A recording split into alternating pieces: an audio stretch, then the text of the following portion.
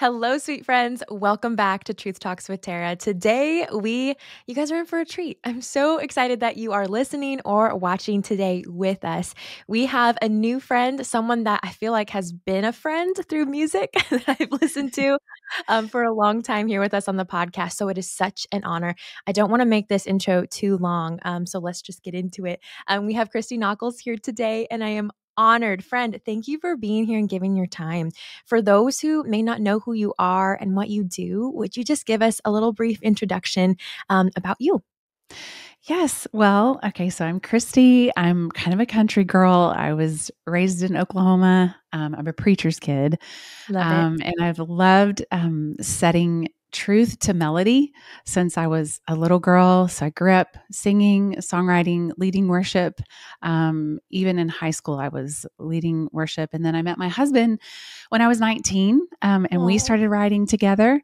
And we've spent, you know, it's been, we'll celebrate 28 years this summer of marriage and, oh, wow. um, and have been in ministry together that whole time. So mm-hmm. we've, um, for a long time, we were called Watermark. We had, you know, several records under that name.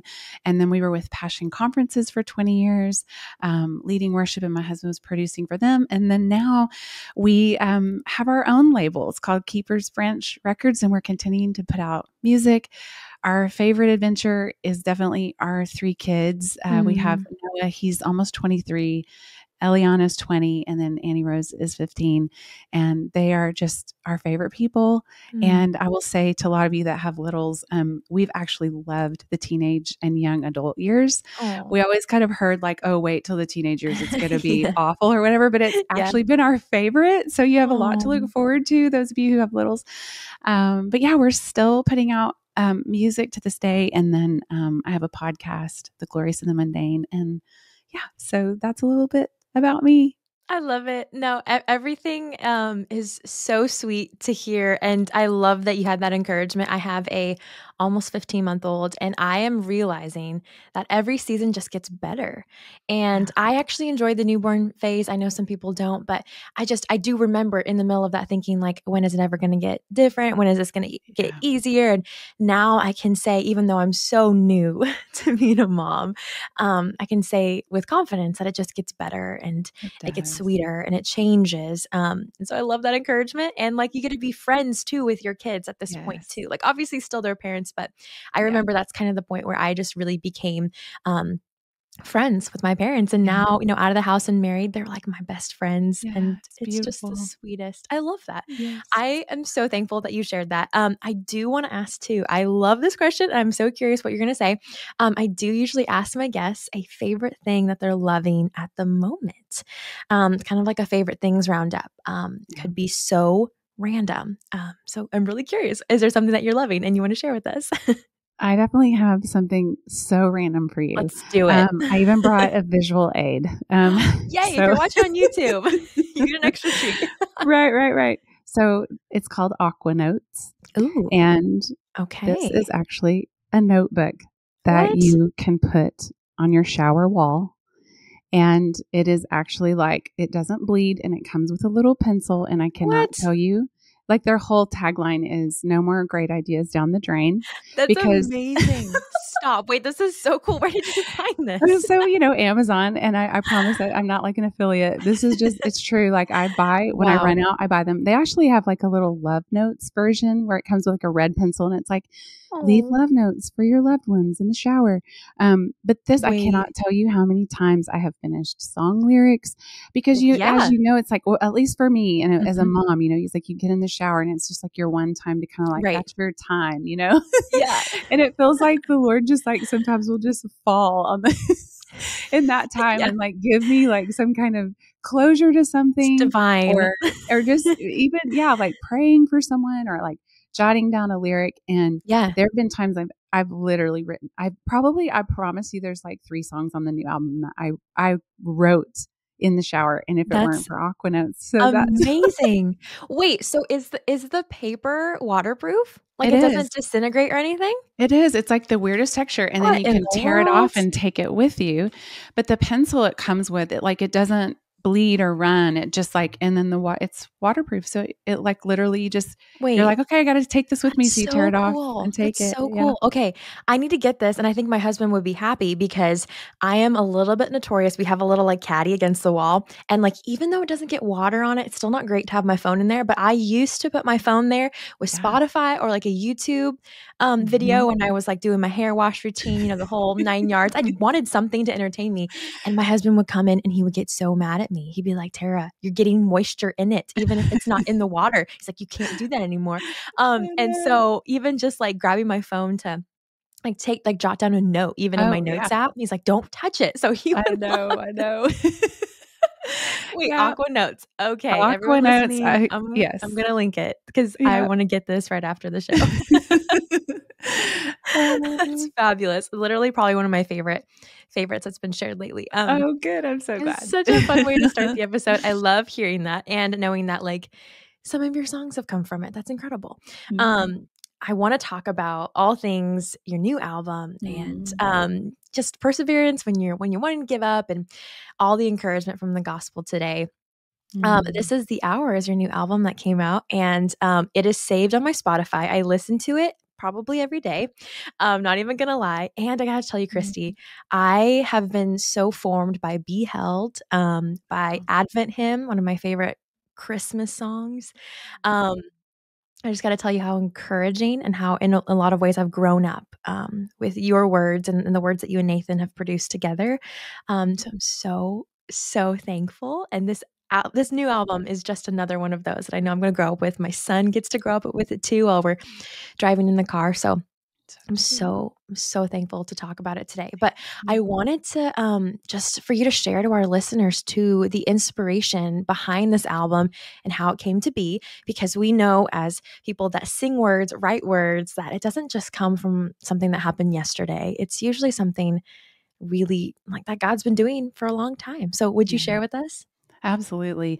Yeah, I've been saying, you know, this this record um kind of between the Lullaby album that you're talking about and this Mhm. was 4 years. Yeah. But really, so it was 4 years in the making, but really kind of a lifetime in a way, like you're saying just Yeah. because um there's things that, you know, I find that the Lord will connect Mhm. um in writing that, you know, from years back and he'll bring it back to my remembrance as I'm writing.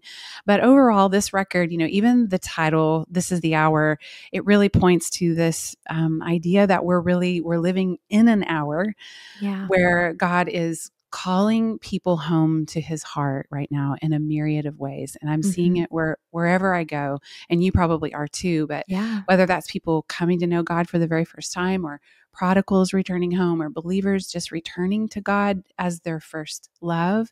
Um, I believe that, you know, we're living in this time of really revival of God revealing his true Yeah. heart to people, which feels like such a dichotomy after we've seen a massive amount of people leaving the faith. Right. Um, you know, so it's like we've seen both, even just we're still in that and it's real recent. But I believe that there's a calling home that he's doing as well. And this album really for me was a personal renaissance or revival in a lot of ways. Even me returning to God's heart fully in a lot of ways, and God using the writing of this album to really rescue and encourage me really deeply in some ways Mhm. that um, needed to happen. And the Lord you know, will often have me live what I'm about to share. Yeah, Like I have yeah. to receive it first. I have to live it first. And I had to receive this encouragement of this album, you know, in those moments of of writing and even before the songs came. Right. Um and there's a big word in in the book of Romans called exhortation. And Mhm. uh, we see that, but really that just means encouragement. And I really feel like to my core that this album is a part of, um, you know, it's sort of my part as an artist of God using artists in this age and in this day and in this hour, sort of that renaissance of coming back to truth, coming back to his heart, kind of stripping things back. Like we don't Yeah. we don't want the fame. We want, you know, we just want Jesus to be lifted up. We want people to Mm. know his true heart. And, you know, part of exhortation is also encouragement um, Mhm. and also a leaning in and a counsel even. So Yeah. there's there's like truth that we need to perk up our ears to. There's this leaning in and sort of this bidding that comes with encouragement too, where the Lord is, I think, strengthening his people right now, mm-hmm. fortifying his people. Yeah. And I think a lot of that is come home to my heart so that you can be a part of urging others to come home to his heart as well. And so I think if I could describe this record as anything, it would be that an mm-hmm. offering for that kind of work that to come alongside what the Lord is doing, what I see, what it feels like He's doing in this hour. So beautiful. I, I think that's that's the perfect explanation what I what I see in the songs, and um, I'm also thinking what what I've thought too when I when I even just saw the title release of the album. I was thinking that you know, I have noticed this in my own life of feeling so hurried and so distracted by not only social media, but by work and ministry. And even the good things can be a distraction. And I've noticed that at times I haven't lived with the realization and the belief that we don't have a lot of time left, that time matters, and that the kingdom is weighty and it's coming. And so when I hear this is the hour, I also am encouraged through the songs that, like, this stuff matters, that nothing else matters, and to pull our focus back um, to Christ mm-hmm. and his glory and what he's doing. Because, man, I am so distracted and I let the enemy tell me so many times that today doesn't matter, that, oh, you can just scroll and be mindless and, and be lazy because you have another tomorrow and you, and, right. but that's not promised. And so when I hear this is the hour, when I hear these songs, when I hear Christ in me and Valor and Psalm 2 and just all of these ones that are so dear to my heart, I think, man i it just stirs my affections again and so i just That's want to so encourage good. you in that. Um this may be a really hard question to ask too but i'm curious is there a song today this week or in this season um of the album that resonates really deeply with you more than the others? I know they all do because they came out of this place but is there one that is striking you, convicting you, um, I would just love to hear because I love um, knowing and connecting the or not the author, the the artist to their songs because yeah. it's part of you. mm-hmm, absolutely. Well, it's interesting. There's if there's one song on the album that I feel like is one that is really deeply like just sort of that word of testimony, kind of, mm, you know, yeah. like Revelation 12 says that, you know, the enemy will be defeated by the blood of the lamb and the word mm, of our mm, testimony. Yes. And that song is where would I be for me mm. right now. Mm. Um, and it it really it's you find that in this culture, you know, to talk about the blood of Jesus even um, it's it's divisive it's um, yeah. it is can be very offensive and but it's that thing that um is is sort of that line in the sand you know of of really believing that it's really through the sacrifice and um, the cross the finished work of jesus that mm. we are able to be completely at peace and to know that we're right with the father. And and so the the the chorus just says where would i be without the blood? Where would i be without your love? You took my place on calvary without the blood where would i be and again i think um, you mm-hmm. know we're living in a time and culture where um, it feels like the sacrifice of jesus oftentimes is try it's it's people try to explain it away um, mm. in a way that um, is feels dismissed like that's not really what that accomplished wow, but for yeah. me i know that's bold you know and i felt like there was um if any someone asked me about this record recently and just said like what's a phrase you could say around it. And I said, it's beautiful, but I feel like it's bold. Yes. yeah. Beautifully bold um, to come around um, truths like that and to be able to say, like, Jesus, I remember your sacrifice. Like, I will say that it's the defining moment of my life you know yeah. when i was 7 and i i asked jesus to be my lord you know it's one thing to believe in him but for him to be your lord and for you to believe that it was his sacrifice that gave you mm. life, you know? And so wow. that song, I just sang it on Sunday for, you know, where I was in Dallas leading and I got ch- choked up just as I was mm. telling the audience about it. And so that one's just very, I think just that personal testimony, just say like, if ever I'm asked for the yeah. reason for the hope I have, like, this is what I'm going to say is like, where would I be without mm. his sacrifice? So yeah, it oh, would be that song. I love that one. Um, I, I remember going through a season a couple years ago. Actually, it was more than a couple years ago. It was when I was just really coming out of a lot of bitterness and anger towards God because of things like, you know, eh, being diagnosed with a chronic illness and, you know, plans not going the way I thought, all these things. And I would go to church and we would do communion like what, once or twice a month. And I remember going through a season of kind of just numbness um, to the whole ceremony of it and thinking wow like okay this is just ritual you know we we do this once a month i've done this since i was born um, raised in the church and and then I was convicted of how, like you said, this is the cornerstone and the foundation of our faith, the blood of Jesus, the washing and cleansing of Him. Where would I be? And I had just become so like, well, this is just normative when I was just so reminded, where would I be without the blood of Jesus? Yeah, um, yeah. And I think it releases a lot of us from the pressure to feel pride or self sufficiency, which is something that I see not only in myself, but so much in our culture where we're told to hustle, we're told to create our own kingdoms. And yeah. where would I be is a humble reminder to all of us and conviction to be like, where would you be? That's we were, right. we, we, we're going to be somewhere. We're not going to be where we really long for. I love, love that. Thank you for sharing that. Um, on your podcast too, you talk a lot about how you you were so close to giving up. You were so close after you said 28 years of of ministry of singing, probably singing your whole life. You were really really close. I remember when you announced this on social media, you're like, "Yeah, I was actually thinking about never coming back to this."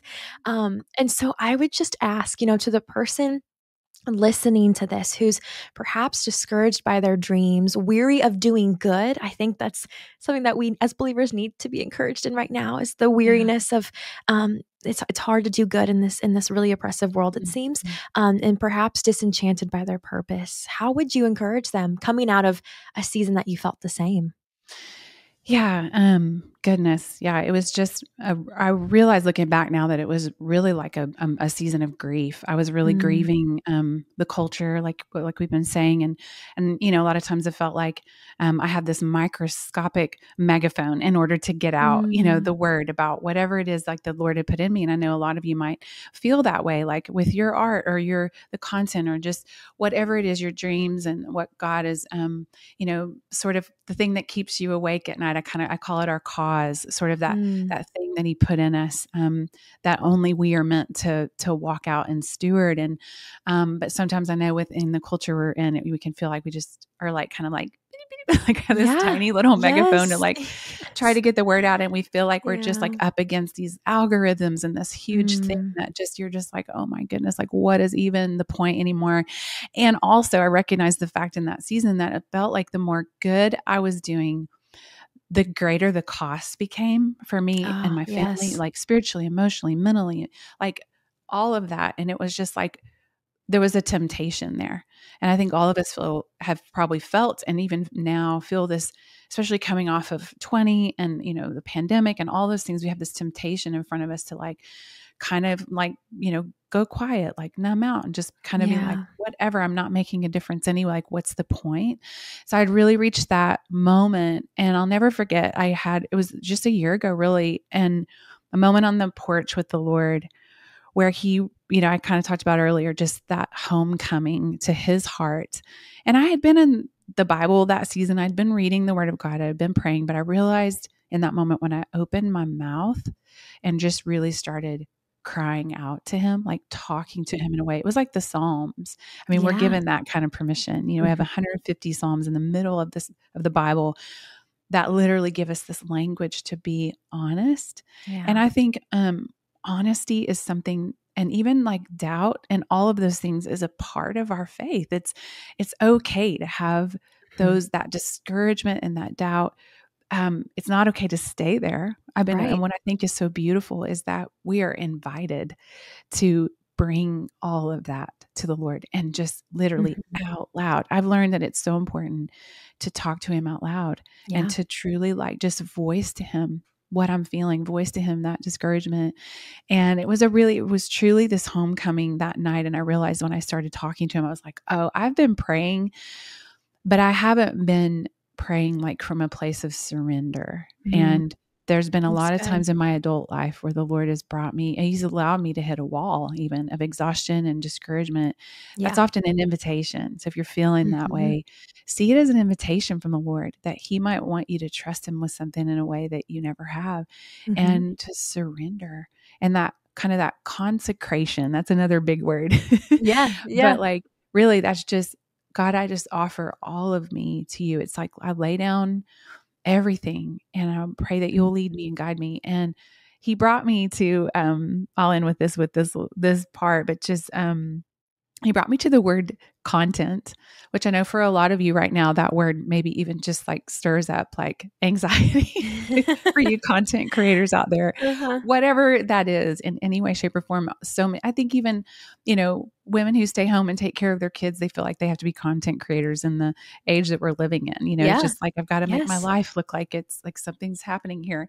Right. And he brought me to the word content. And I never noticed before that that content looks exactly the same as content. Right. And yeah. I just thought, wow, that means two different things, but you just say it a little differently, but it's spelled the same. And it's like, and and he just spoke to my heart and was like, Christy, the content will always come when you are content in That's me good. alone. If you stay wow. in the center of my heart, like if I'm the prize, if I'm the treasure, like you stay content in my heart, and I he's like he's the greatest content creator there is and that's what I've found. Mm. It's like when we come home to his heart and we just surrender, he's like, "Oh, I got all the content you need. Like I'm going to pour it out through you, but you've got to come home and stay content in my heart." And I was like, "Okay."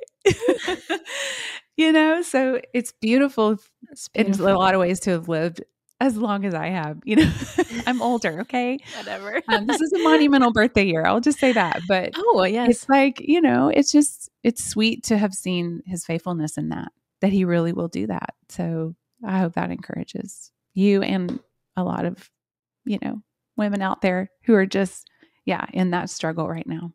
It is so encouraging. You spoke to me. I'm coming out of a season of, um, a lo- I published a book um, three year, three years ago, three months ago, and Wonderful. so I'm coming. I'm still in the season, right? I mean, you know, oh, yes, but also out of the thick of it. It seems it's yes. um, it's it's become more steady. But even in that, feeling the guilt and the discouragement of of being a mom and feeling like I'm my my focus is pulled, and the weariness of doing good and feeling like is this really making a difference? Is it converting? You know all of these things we worry about.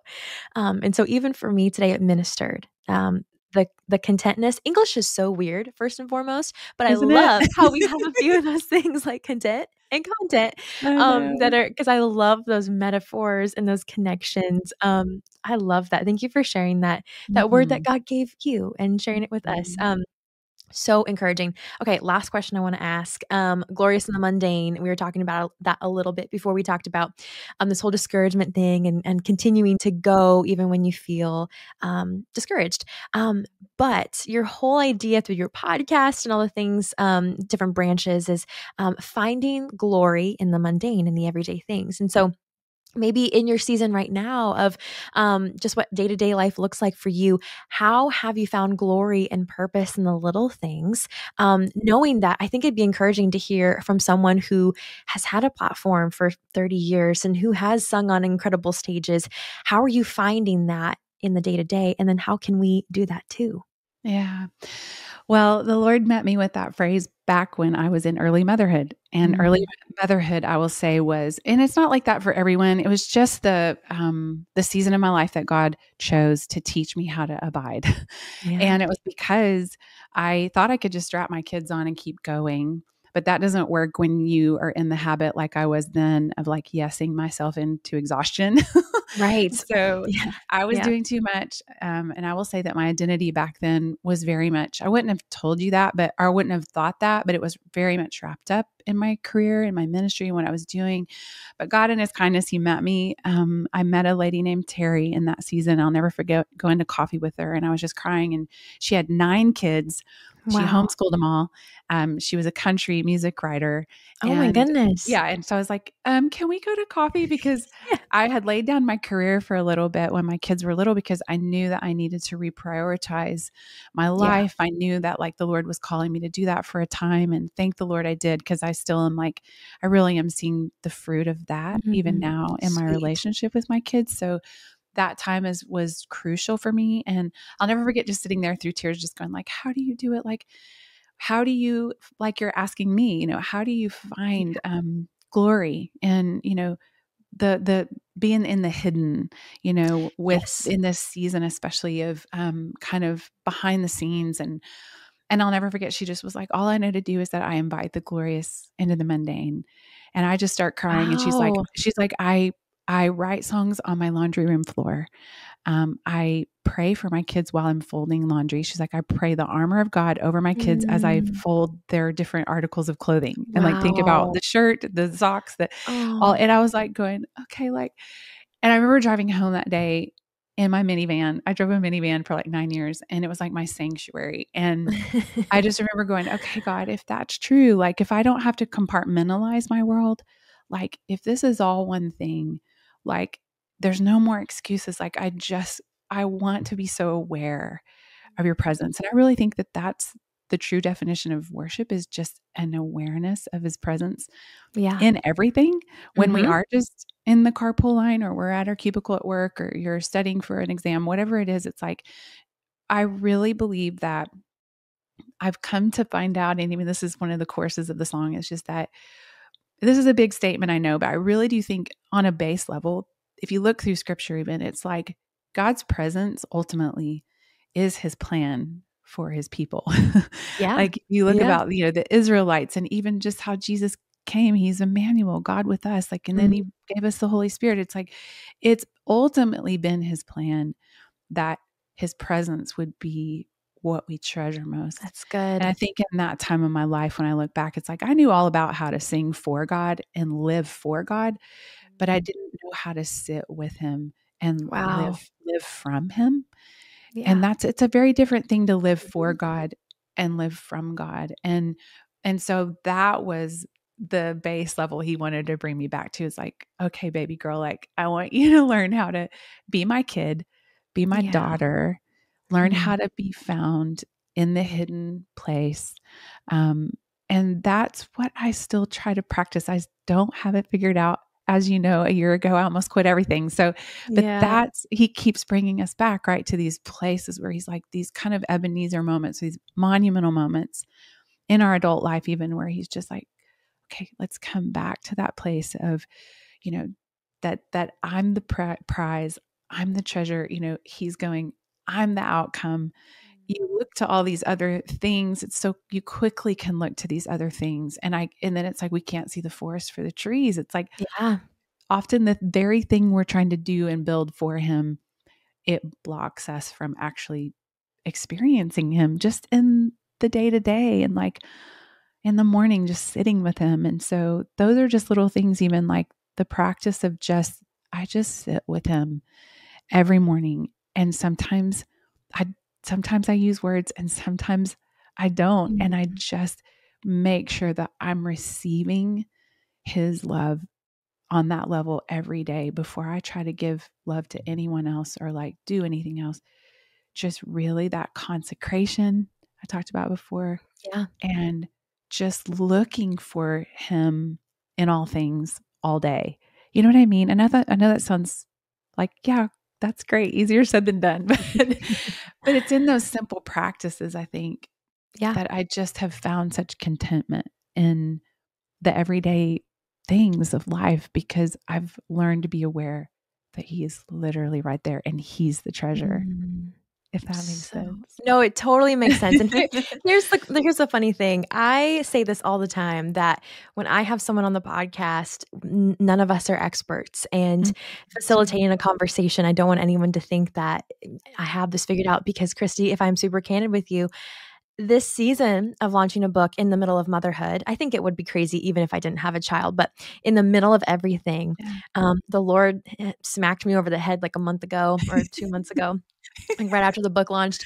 And he was like, Tara, you are doing things for me instead of just being with me. You are more obsessed with doing than actually just mm-hmm. being devoted to me. Yeah, yeah. And that has stuck with me because, man, I have felt like I need to climb this ladder and I haven't I haven't dwelled with the Lord. Like you were talking about how Jesus came down to be with us, Emmanuel, God with us, and how mm-hmm. when God came, he this idea of dwelling was he pitched his tent with his people, a permanent right. residence. Yes. And I have just not been living that way. And so I just want to say thank you for encouraging even me because every single thing you said was anointed for me.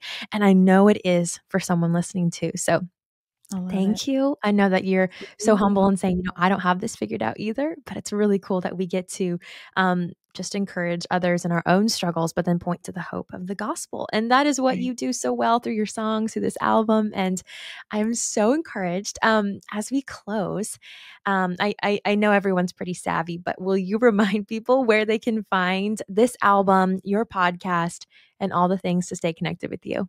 Yes. Um, well, you talked about the Lullaby album. If if those of you listening have littles, um, the Lullaby album is called Be Held, and it has mm-hmm. it's actually our favorite project we have ever been a part of Aww. in 28 years. And then um, this new album is called This Is the Hour, and it is available anywhere that you listen to music. But we also have CDs for those of you who are like kind of you know wanting to do like the vintage like retro thing. Um, Love it. I know it's like becoming a thing. And my daughter, who's 20, actually designed the CD, and you can find that on christynockels.com. So we have mm. CDs available there um, if you want, you know, that sort of thing. But yeah, anywhere you listen to music, um, you can find that on all the digital platforms. And then my my podcast is called The Glorious in the Mundane. And I did write a book too. It's yes, called The Life You right. Long For. And it's actually all about that season of God teaching me how to abide, um, how to live from from rest. And so yeah, that's out there too. Yay. Oh, I'm so glad. I will have everything linked below for you guys um, to go check out and listen. I love the CD idea, by the way. Like, yeah, I don't know if been... my car actually has a CD player anymore. I know, I know. I'm trying to think now. Most of them um, don't. Um, right? It's not funny. But I like the idea of, especially with your kids and me, like just the idea of like when I was growing up, like popping a CD in or even a CD player in your room and just like listening. So that's so, so sweet. Christy, thank you for being here. What a fun conversation. Has blessed me deeply. Friends, if this encouraged you, please make sure to you know, take a screenshot of this and let Christy and I know um, through tagging us what encouraged you the most. Or if you're walking through um, something that we shared, um, we're in this with you. Um, the gospel hope is for you and is covering you in this season. So we love you guys. Um, thank you so much for being here. And I will talk to you next week.